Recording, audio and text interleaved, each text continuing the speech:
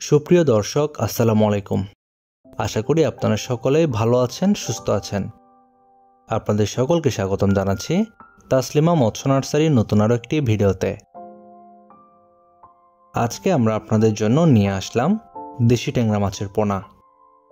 এবং আমাদের আজকের ভিডিওতে আমরা এই ট্যাংরা মাছের পুকুর প্রস্তুতি সম্পর্কেও আলোচনা করেছি। যাতে করে আপনারা যে সকল মৎস্য খামারি ভাইয়েরা এই ট্যাংরা মাছের চাষ করতে চান আপনাদের আজকের ভিডিওটি অনেক উপকারে আসবে। তো চলুন আমাদের আজকের ভিডিওটি শুরু করা যাক। এই মাছটির নাম ট্যাংরা। নামটি অদ্ভুত, কিন্তু খেতে সুস্বাদু। আকারে ছোট হলেও ট্যাংরা মাছের রয়েছে ব্যাপক অর্থনৈতিক গুরুত্ব। অন্যান্য মাছের তুলনায় ট্যাংরা মাছের কাটা কম হওয়ায় অনেকের কাছে বেশ জনপ্রিয় এই মাছ। একসময় খালবিল সহ বিভিন্ন জলাশয়ে এই মাছ দেখা যেত।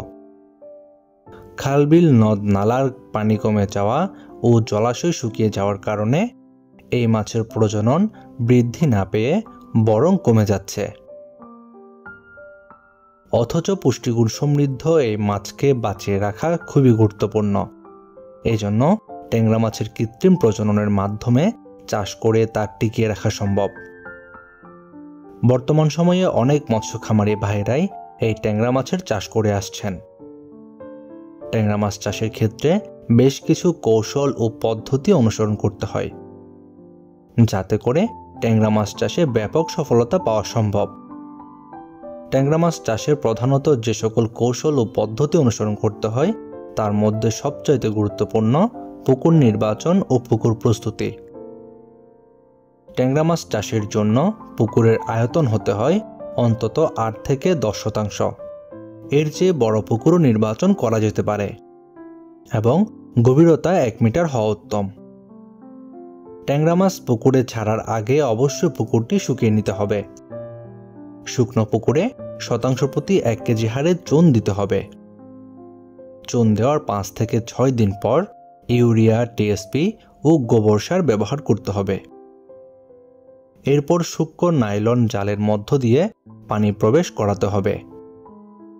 পানি দেওয়ার চার থেকে পাঁচ দিন পর পোনা ছাড়া যাবে। ট্যাংরা মাছ চাষের ক্ষেত্রে পুকুরের চারপাশ নেট দিয়ে ঘিরে দিতে হবে, যাতে বর্ষার পানিতে মাছ ছড়িয়ে না যায় বা অন্য কোনো মাছ চাষকৃত পুকুরে ঢুকতে না পারে। ট্যাংরা মাছ চাষের ক্ষেত্রে পুকুর প্রস্তুত করে উন্নত মানের পোনা মজুত করতে হবে।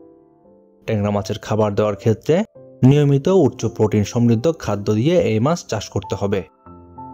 এবং প্রতি মাসে ভালো মানের জীবাণুনাশক ব্যবহার করে এই মাছের কালচার শেষ করতে হবে। এছাড়াও প্রতি পনেরো দিন অন্তর অন্তর পুকুর থেকে মাছ উত্তোলন করে মাছের স্বাস্থ্য পরীক্ষা করে নিতে হবে। যদি কোনো রোগবালাই আক্রমণ করে, সেক্ষেত্রে প্রতিরোধমূলক ব্যবস্থা গ্রহণ করতে হবে। বর্তমান সময়ে যে সকল মৎস্য খামারি ভাইরা ট্যাংরা মাছের চাষ করার জন্য উন্নত মানের পোনা নিতে চাচ্ছেন, আমাদের আজকের পোনাগুলো নিতে পারেন। এখন ভিডিওর স্ক্রিনে যে পোনাগুলো আপনারা দেখতে পাচ্ছেন, এগুলো দেশি ট্যাংরা মাছের তিন হাজার থেকে চার হাজার লাইনের পোনা। অর্থাৎ তিন হাজার থেকে চার হাজার পিসে কেজি হয়ে থাকে। এই পোনাগুলোকে পিস হিসেবে বিক্রয় করা হয়ে থাকে। আমাদের হ্যাচারিতে অন্যান্য সকল হ্যাচারির তুলনায় সবচেয়ে কম দামে পোনা বিক্রয় করা হয়। আপনারা যে সকল মৎস্য উদ্যোক্তা ভাইয়েরা এই দেশি ট্যাংরা মাছের পোনাগুলো নিতে চাচ্ছেন, আমাদের ভিডিওর স্ক্রিনে দেখানো নাম্বারে যোগাযোগ করুন। আমরা বাংলাদেশের যে কোনো জায়গায় অক্সিজেন দিয়ে পলি এবং ড্রামে করে হোম ডেলিভারি দিয়ে থাকি। ফলে আপনারা বাংলাদেশের যে কোনো জায়গায় ঘরে বসে পোনাগুলো হোম ডেলিভারি নিতে পারবেন। অথবা যদি আমাদের হ্যাচারি থেকে পোনা সংগ্রহ করতে চান, আমাদের ভিডিওর ডিসক্রিপশন বক্সে হ্যাচারির ঠিকানা দেওয়া রয়েছে। চাইলে সরাসরি আমাদের হ্যাচারি থেকেও পোনা নিয়ে যেতে পারবেন।